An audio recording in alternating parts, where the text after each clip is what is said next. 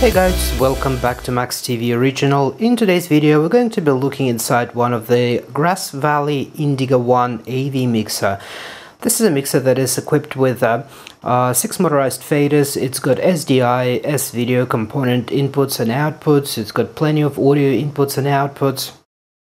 Uh, it's got uh, DVI and uh, HD SDI card optional, which I do have. Uh, I've got two of those mixers, and one of them I've uh, refurbed before. Uh, the second one I've just got, and uh, we're going to be looking inside uh, how it works. And the reason I'll be pulling it apart is just for cleaning and maintenance. So we'll have a look at the constructions, and those are mixers that are used professionally in the television. Well, they used to be; they're probably upgraded by now. So let's uh, flip it upside down and get to it. So I've removed all the screws. This is not going to be an easy video because the mixer is big and um, I have to do it on the floor. So I've removed all the screws around the perimeter and those two compartments. So in this compartment, it's just a fan, really easily serviceable. So you remove two screws and pop it out, disconnect it, and there's a fan. Also, it's uh, they've done it so you can easily remove it by twisting it. It's probably going to be a bit hard to do and you can easily access the fence. There is no screws. It's filthy. So that's going to go into washing. There's also a battery inside that can be accessed uh, to change for the BIOS in the second compartment we've got a power supply unit. So this one is a bit more trickier to remove. Again there's a fan connector. And we have a power connectors. Actually this one's easier than the other mixer so I'll disconnect it Alright, so I've disconnected the power supply. It looks like it's a pretty much a PC power supply. Filthy dirty, same system with the fan, just twist off and clean. That's going to go into cleaning as well. Uh, the compartment with the power supply is insulated and there's a little metal bracket that you have to get out to get the cables. There you go, lost one of the and those plastics go usually on the side here to make sure it doesn't cut the cable. So that's it. Now the top lid can be removed. I've already unscrewed it so let's get that off.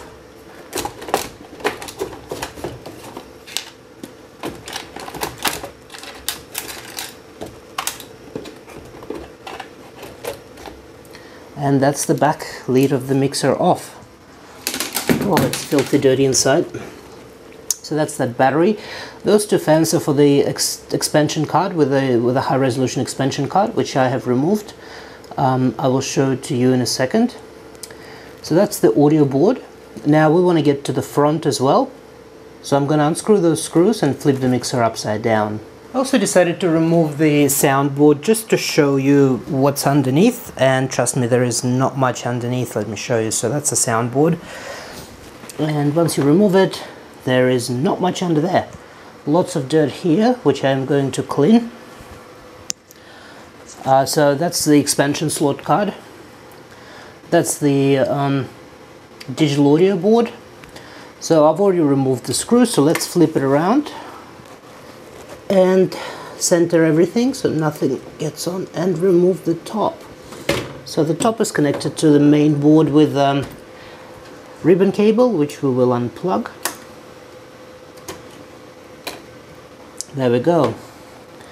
So here we have I'll start with the LCD monitor because I will have to take it out to clean it. So four screws are holding this uh, monitor in place. Once we remove them the whole unit comes out and as you can see it's just a touch screen attached to LCD panel. That's the touch screen. Funny enough they actually that's your touch screen. That's your um, PIC that they're using to drive the touch screen a power supply module and uh, that's your um, LVDS processors that goes to the that's TTL to the screen itself and your high voltage for the CCFL tube. So that's your screen. So we'll put that aside. That's just an audio jack for the headphones. I'll put that aside for cleaning. And now we have the main panel.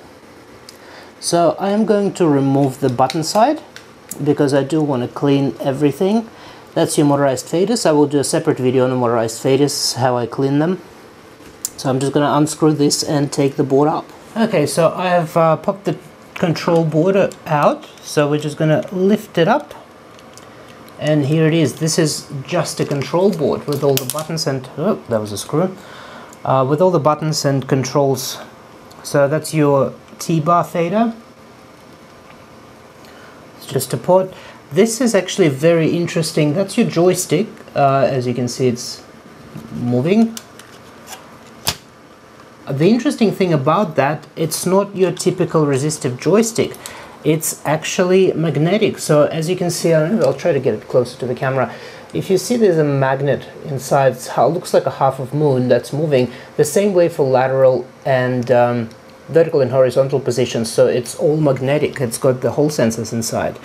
So that's your motorized fader section, which I will unplug and show you because I will have to clean them anyway. So this is your uh, motor drivers, which are um, L622SPD. Those are driving uh, two motors each. Those are caps. Uh, that's your levels. They're just SMD um, LEDs on the board here. Uh, what else we got here? Just the dual color buttons, red uh, and white. A few pots, USB port and joystick. So that's that's it for this board.